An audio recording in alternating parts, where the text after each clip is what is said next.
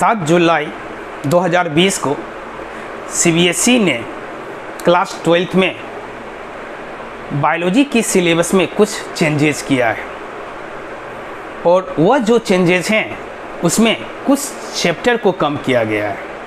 तो आप सभी जानते हैं कि जो ट्वेल्थ क्लास का बायोलॉजी है सीबीएसई बोर्ड के लिए, उसमें टोटल फाइव यूनिट स्टडी करने हैं तो उसमें से जो फ़र्स्ट यूनिट है, जो एन में मेंशन है, यूनिट सिक्स, उसमें स्टडी करना है रिप्रोडक्शन के बारे में।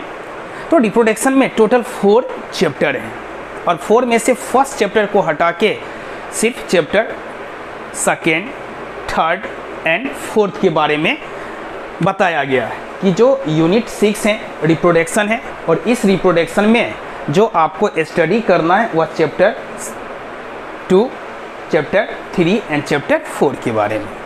और इस तीनों चैप्टर का जब आप स्टडी करेंगे तो इससे कितने मार्क्स आएँगे आपको? 14 मार्क्स क्योंकि इस तीनों चैप्टर से रिलेटेड जो क्वेश्चन तैयार किया जाएगा, और उस क्वेश्चन के लिए जो टोटल मार्क्स होंगे वह 14 मार्क्स तो सिर्फ़ थ्री चैप्टर का स्टडी करें chapter second chapter third and chapter four और आप कितने ला सकते हैं मार्क्स 14 मार्क्स अब बात करते हैं यूनिट सेवन के बारे में। तो यूनिट सेवन के बारे में जब आप सोचते होंगे तो थोड़ा सा प्रेशर फील करते होंगे, क्योंकि इसमें जेनेटिक्स के बारे में स्टडी करना है। इसमें किसके बारे में स्टडी करना है? जेनेटिक्स के बारे में। और जेनेटिक्स का जब नाम सुनते हैं, थोड़ा सा साइकोलॉजिकल प्रेशर आता है। कैसे तैयारी होगी? तो सीबीएसई ने क्या किया कि जो जेनेटिक्स में थ्री चैप्टर थे, उस थ्री चैप्टर में से एक चैप्टर को हटा दिया है। और किस चैप्टर को हटाया? इवोल्यूशन को। तो बच गए कौन? तो चैप्टर फिफ्थ और चैप्टर सिक्स तो जो चैप्टर फिफ्थ हैं, इसमें आप जो स्टडी करते हैं, किसके बारे में? तो लॉ ऑफ़ इनहेरिटेंस के बारे में इनकम्प्लीट डोमिनेंस के बारे में को डोमिनेंस के बारे में लिंकेज एंड क्रॉसिंग ओवर के बारे में सेक्स डिटर्मिनेशन के बारे में पेडिग्री एनालिसिस के बारे में म्यूटेशन के बारे में, और उसके बाद chromosomal disorder and Mendelian disorder के बारे में स्टडी करते हैं। किसमें चैप्टर फिफ्थ में। और चैप्टर सिक्स की जब बात करें तो ये मोलिकुलर बेसिस ऑफ़ इनहेरिटेंस है, जिसमें थोड़ा सा प्रेशर ज़्यादा बढ़ता है। क्योंकि फ़र्स्ट टाइम कुछ नई चीज़ के बारे में आप स्टडी करते हैं, लेकिन जो चैप्टर सिक्स हैं, इससे जो इम्पोर्टेंट क्वेश्चन बनते हैं, अगर आप पाँच साल का क्वेश्चन देखेंगे तो डीएनए फिंगरप्रिंटिंग क्या है? उसकी application human human genome project क्या है। लैक ओपरेन के केस में पॉजिटिव लैक ओपरेन क्या है निगेटिव लैक ओपरेन क्या है। फिर उसके बाद आप ट्रांसलेशन के बारे में स्टडी करते हैं जेनेटिक कोड के बारे में ट्रांसक्रिप्शन के बारे में और ट्रांसक्रिप्शन से कुछ ज़्यादा चांसेस होता है क्वेश्चन का आने का, क्योंकि उसमें प्रोकैरियोटिक एंड यूक्रियोटिक ट्रांसक्रिप्शन के बारे में बताया गया है। फिर उसके बाद जो कुछ बच रहे हैं कंटेंट उससे रिलेटेड तो जिसमें आप गिरिप साहब का एक्सपेरिमेंट उसके बाद बायो केमिकल करेक्टराइजेशन प्रिंसिपल के बारे में, और जो हार्सी एंड चेस एक्सपेरिमेंट हैं, उसके बारे में स्टडी करना है। और हार्सी एंड चेस एक्सपेरिमेंट इस बार 2020 में क्वेश्चन आए हैं। और उसके बाद आप देखें तो उसमें आपको पैकेजिंग है किसका? तो डीएनए का प्रोकैरियोटिक सेल के केस में यूकैरियोटिक के केस में। देन आफ्टर सेंट्रल डोगमा है, उसके बाद डीएनए का स्ट्रक्चर पढ़ना है। और डीएनए के स्ट्रक्चर में स्पेशली जो इम्पोर्टेंट क्वेश्चन बनते हैं वह चरगफ रूल से रिलेटेड है। और उसके बाद डीएनए का डायग्राम आप बना लें। तो ओवरऑल जो ये मोलिकुलर बेसिस ऑफ़ इनहेरिटेंस में जो स्टडी जो करना है तो उसको अगर सुपरफिशियली अगर ब्रेन में रखें तो डीएनए फिंगर प्रिंटिंग तैयार कर लें। काफ़ी आसान है। लैक ओपरेन तैयार कर लें। डायग्राम के बेसिस पर काफ़ी आसान है। उसके बाद आगे बढ़ें तो human genome project human genome project और उसमें गोल हैं साइलेंट फीचर्स हैं मेथडोलॉजी हैं, उसके बारे में स्टडी करना है। उसके बाद देखें तो आपको डीएनए रेप्लिकेशन तो डीएनए रेप्लिकेशन से टू टाइप्स के क्वेश्चन आएँगे। एक तो उसके मैकेनिज्म को एक्सप्लेन करें और DNA replication semi conservative types के होते हैं, उसके बारे में एक्सप्लेनेशन करना है। और जब आप डीएनए रिप्लिकेशन के बारे में आइडिया ले लेते हैं तो देन आफ्टर आपको स्टडी करना पड़ता है किसके बारे में? ट्रांसक्रिप्शन तो ट्रांसक्रिप्शन एनसीईआरटी बुक में टू टाइप्स करके मेंशन किए हैं प्रोकैरियोटिक एंड यूक्रियोटिक ट्रांसक्रिप्शन तो इस दोनों का डायग्राम और डिफरेंसेस सही ढंग से तैयार करना है। और उसके बाद देखें तो आपको जेनेटिक कोड उसमें उसके साइलेंट फीचर्स के बारे में और एक जो टेबल हैं, उसके बारे में स्टडी करना है और जब जेनेटिक कोड का कंसेप्ट ठीक हो जाता है तो उसका यूज़ आप ट्रांसलेशन प्रोटीन सिंथेसिस के केस में करते हैं। वहाँ पर भी प्रोकैरियोटिक एंड यूक्रियोटिक ट्रांसलेशन होते हैं। और अगर शुरू का देखें तो उसमें डीएनए का स्ट्रक्चर जो वाटसन एंड क्रिक साहब प्रपोज किए थे फिर डीएनए का करेक्टरिस्टिक फीचर्स और उसमें स्पेशली चरगफ रूल के बारे में स्टडी करना ज़रूरी है।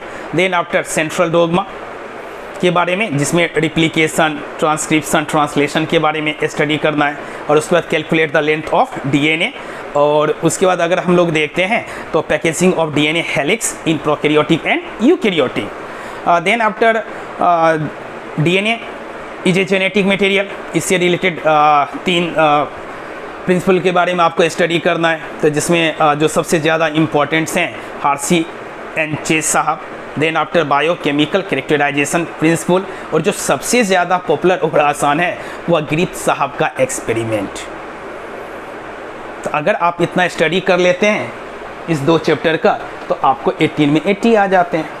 अब यूनिट 8 की बात करें तो यूनिट 8 से 14 मार्क्स के क्वेश्चन आए हैं, और इसके लिए कितना चैप्टर पढ़ना है आपको? ओनली टू और ये जो यूनिट एट है, इसमें पढ़ना है बायोलॉजी एंड ह्यूमन वेलफेयर तो अगर सोचें तो ये काफ़ी इंपॉर्टेंट है डॉक्टर बनने के लिए। क्योंकि डॉक्टर किस चीज़ के लिए आप सभी बनेंगे? डिज़ीज़ को ठीक करने के लिए। और डिज़ीज़ के बारे में आपको चैप्टर एट में पढ़ना हेल्थ एंड डिज़ीज़ जिसमें कैंसर एड्स प्लाज्मोडियम का लाइफ साइकिल इम्यूनिटी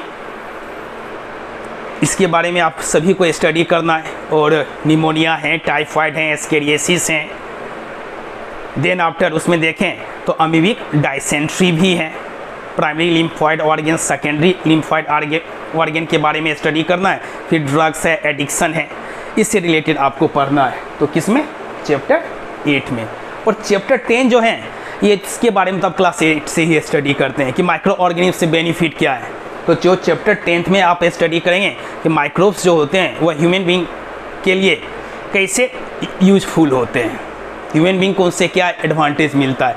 तो उसके बारे में आप सभी स्टडी करेंगे हाउस होल्ड प्रोडक्ट के बारे में इंडस्ट्रियल प्रोडक्ट के बारे में सीवेज ट्रीटमेंट के बारे में biogas production bio control agent के बारे में, इस सभी के बारे में आपको स्टडी करना है। साथ में बायोगैस भी है। तो ये चैप्टर चैप्टर किसमें आते हैं? टेन में। तो ये सबसे आसान है। अगर इस दोनों चैप्टर को स्टडी करते हैं तो आपको बोनस में 14 मार्क्स हैं। क्योंकि इसके कंटेंट को देखें तो इंपॉर्टेंट क्वेश्चन आप खुद समझ जाएँगे।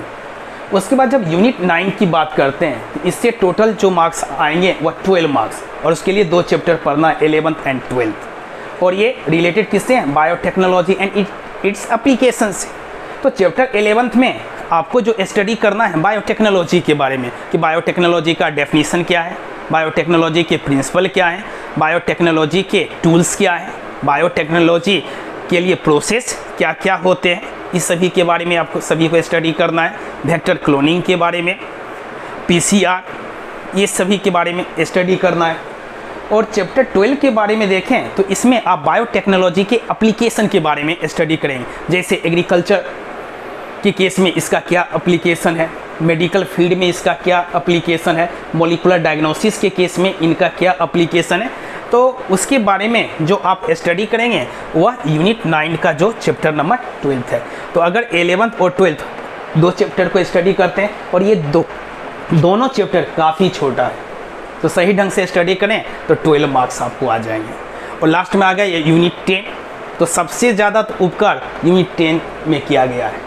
क्योंकि इसमें टोटल फोर चैप्टर है। फोर में से टू चैप्टर को हटा दिया गया। तो अब स्टडी करना है only chapter thirteen and only chapter fifteen तो थर्टीन के केस में organism and its population organism and its population के बारे में स्टडी करना है, जिसमें आप डिफरेंट टाइप्स ऑफ़ इंटरेक्शन के बारे में स्टडी कर चुके होंगे या करेंगे। और उसके बाद अगर देखें तो एलेंस रूल के बारे में स्टडी आपको करना है। एलेंस रूल के बारे में स्टडी आप सभी को करना है। तो ये जो है, वह चैप्टर थर्टीन से रिलेटेड है। इसके अलावे भी इसमें स्टडी करना है और इसके कंटेंट कुछ ज़्यादा है किसमें? चैप्टर थर्टीन में। लेकिन वह काफ़ी आसान है। जैसे माइग्रेशन है रेगुलेटर हैं कन्फॉर्म है एडेप्टेशन है, इस सभी के बारे में आप सभी को स्टडी करना है। तो यहाँ तक तो कोई दिक्कत नहीं। और जब चैप्टर 15 की बात करते हैं तो शुरू से ही इसके बारे में आइडिया है कि बायोडाइवर्सिटी है और उसके, उसको क्या करना है? तो कंजर्व करना है। तो सबसे पहले इसमें जो आप स्टडी जो देखेंगे, वह डाइवर्सिटी का जो टाइप्स दिया genetic diversities species diversities ecological diversities उसके बाद स्पेसिस एंड एरिया के बीच में रिलेशनशिप बायोडाइवर्सिटी को कंजर्व क्यों करना है? In situ ex situ के बीच में क्या डिफरेंसेस हैं? National park wild life sanctuary के बीच में क्या डिफरेंसेस हैं? तो ये सभी के बारे में आपको स्टडी करना वह चैप्टर नंबर 15 तो अगर आप सही ढंग से स्टडी कर लेते हैं तो इसमें आपको 70 बाई 70 आ जाएँगे. उसके लिए थोड़ा सा मेहनत करना होगा क्योंकि चैप्टर काफ़ी कम कर दिए गए हैं. और अब दो चैप्टर स्टडी करो तो 18 मार्क्स तीन चैप्टर स्टडी करो 14 मार्क्स। एक्चुअली रिप्रोडक्शन से रिलेटेड है तो टेंथ में भी पढ़े हैं तो आसानी से हो जाएगा। और अगर यूनिट एट की बात करें, जो 14 मार्क्स के हैं तो उसमें तो दो ही चैप्टर हैं। एक आपको हेल्थ एंड डिज़ीज़ से, और दूसरा जो है, माइक्रो ऑर्गेनिज्म से, ह्यूमन बींग को क्या बेनिफिट होते हैं तो उसको तो आप ऐसे भी एक्सप्लेन कर सकते हैं। और जो एक यूनिट नाइन्थ है, जो आप सभी के लिए थोड़ा सा न्यू चैप्टर लगता होगा, बायोटेक्नोलॉजी। तो बायोटेक्नोलॉजी में ज़्यादा टेंशन है, एक, दो चैप्टर जो हैं वह काफ़ी छोटा है। उसके बारे में थोड़ा सा आइडिया दिए। और जो चैप्टर टेंथ हैं पहले चार चैप्टर थे आप सिर्फ़ दो ही चैप्टर तो chapter thirty organism and its population और चैप्टर 15 बायोडाइवर्सिटी को क्या करना है? कंजर्व करना है। बायोडाइवर्सिटी एंड इट्स कंजर्वेशन तो थैंक यू वेरी मच आप मेरे चैनल को सब्सक्राइब कर लेंगे।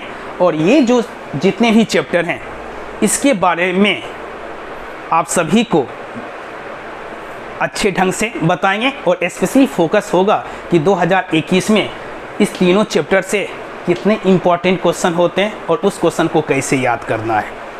फिर जेनेटिक्स जो सबसे ज़्यादा आप सभी को परेशान करता है स्पेशली समझने में भी और याद करने में भी। तो इससे भी रिलेटेड आप सभी के लिए वीडियो बनाएँगे और कोशिश ये रहेगा कि जब आप वीडियो पूरा देखेंगे तो आपको क्लास में ही पूरा याद हो जाएगा।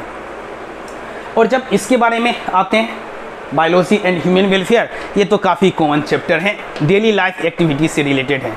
और जो ये इकोलॉजी किससे रिलेटेड हैं तो इसमें डेफिनेशन टाइप के टर्म काफ़ी हैं। और स्पेशली जब चैप्टर 15 के बारे में पढ़ेंगे तो national park wildlife sanctuary biodiversity को कंजर्व क्यों करना है, ये लॉस क्यों हो रहे हैं, उसके बारे में स्पेसिस एरिया रिलेशनशिप के बारे में जो डाइवर्सिटीज़ हैं, जो आपके एन में जो species diversity genetic diversity ecological diversity के बारे में स्टडी करना है। तो थैंक यू वेरी मच आप सभी इस चैनल को सब्सक्राइब कर लेंगे और इससे रिलेटेड जो चैप्टर्स होंगे, उसका लेटेस्ट वीडियो आपके पास अवेलेबल होगा।